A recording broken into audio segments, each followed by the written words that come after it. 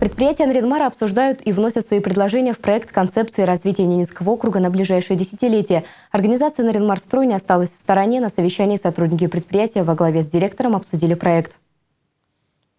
В первую очередь предприятие Наринмарстрой заинтересовано в создании дорог, как в самом Наринмаре, так и за его пределами. Качественная дорога до Усинска позволит удешевить и ускорить процесс градостроительства в Наринмаре. Также сотрудников Наринмарстроя волнуют вопросы повышения уровня жизни граждан и благоустройства города.